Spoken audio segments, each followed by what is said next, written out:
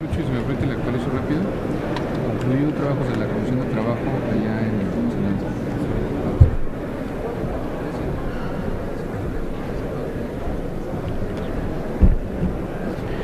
Con su permiso, señor presidente, compañeras y compañeros diputados. México es el decimoprimer país más poblado del planeta y el tercero en América. Es la nación que ocupa el decimosegundo lugar por su contribución al crecimiento de la población del planeta. Asimismo, pertenece a importantes bloques económicos y es una de las economías llamadas emergentes. A pesar de contar con todas estas ventajas competitivas, México presenta un rezago muy marcado en cuanto al uso de las nuevas tecnologías de información, lo que se conoce como brecha digital, entre su población presente hoy en día. Con la globalización de las economías y las plataformas tecnológicas cambiantes, nuestro país ha tenido un retroceso en la tecnología. Existe una enorme desigualdad entre la población mexicana, ya que el 40% de ella es pobre y no cuenta con acceso a las herramientas tecnológicas. Asimismo, solo dos de cada cinco mexicanos cuenta con una computadora y con acceso a Internet. Las nuevas creaciones tecnológicas de información son importantísimas. Se han denominado como la economía de la información por considerarse factores que potencian la productividad de las economías modernas, pero más aún como herramienta en la educación para acceder a información en una democracia participativa. Las tecnologías de información y comunicación han dado la posibilidad a millones de personas en todo el mundo de comunicar sus ideas y provocar cambios en sus sociedades. Es por esto que la Asamblea General de la ONU ha declarado el acceso al Internet como un derecho humano. A pesar de todo lo anterior, nuestro país bajó 11 posiciones en el ranking mundial en el uso de nuevas tecnologías, según el Informe Global de Tecnologías de la Información.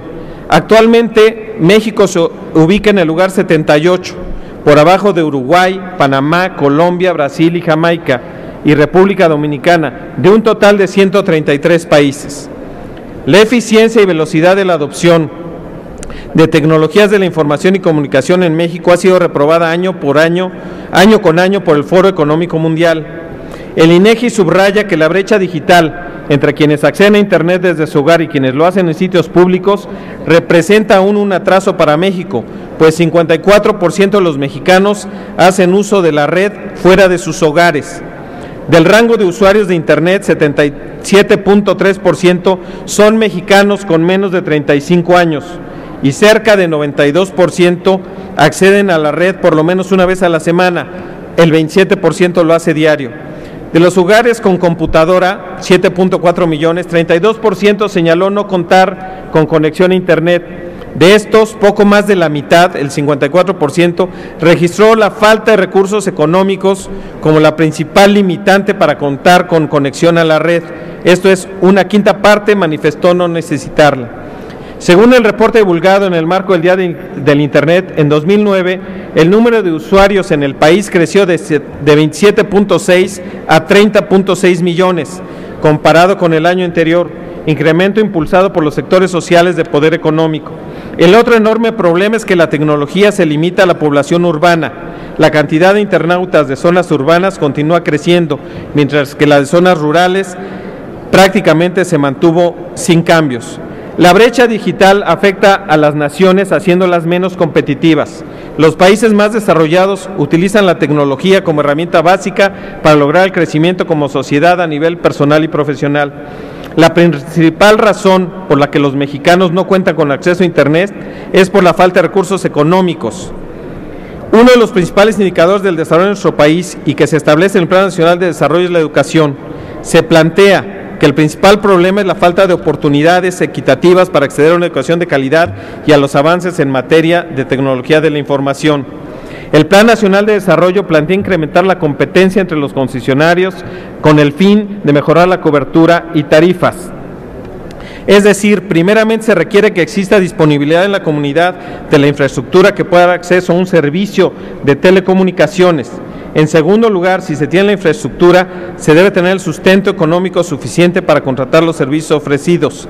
Y por último, si se tiene esa infraestructura y la accesibilidad, se deberán tener las habilidades suficientes para utilizar dichos servicios. Al crear el derecho al acceso a Internet como herramienta de la educación, se tendría que observar la calidad de la tecnología informática de comunicación, crear la infraestructura adecuada, proveer de puntos de conexión inalámbrica y gratuita en cada municipio del país, mismo que deberá, actualizarse de acuerdo con los avances tecnológicos y las capacidades técnicas que se dispongan. El desafío para el país es reducir la llamada brecha digital y alcanzar una inclusión digital más integral y participativa. En razón de lo expuesto, me permito someter a consideración de esta honorable Asamblea el siguiente proyecto, una adición a la fracción novena del artículo tercero de la Constitución Política de los Estados Unidos Mexicanos para crear el derecho al acceso a Internet. Por su atención, muchas gracias. Es cuanto, señor presidente. Muchas gracias, diputado. Se turna.